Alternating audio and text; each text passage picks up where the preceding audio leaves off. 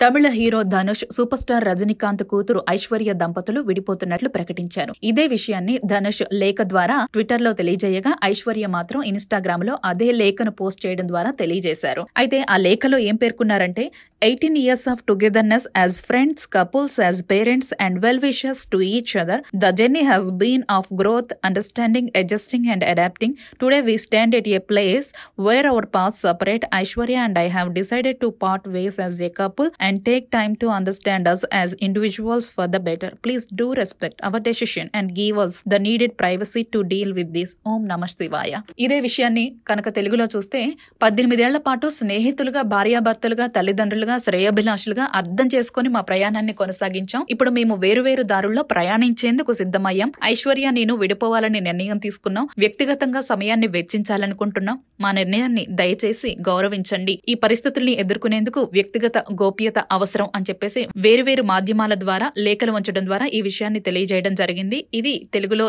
ఆ లేఖ యొక్క సారాంశం. ఇక సూచి లీక్స్ గతంలో సంచలనం సృష్టించిన విషయం తెలిసిందే. ఆ లీక్స్లో ధనుష్ ఫోటోలు కూడా బయటకు రావడం జరిగింది. అయితే అప్పటి నుంచే వీరిద్దరి మధ్య భేదాభిప్రాయాలు తలెత్తినట్లు సమాచారం. ఇక సూపర్ స్టార్ రజనీకాంత్కు ఐశ్వర్య పెద్ద కూతురు. ధనుష్తో ఐశ్వర్యకు రెండు వేల నాలుగు నవంబర్ పద్దెనిమిదిన వివాహం జరిగింది. వీరికి ఇద్దరు కుమారులు కూడా ఉన్నారు.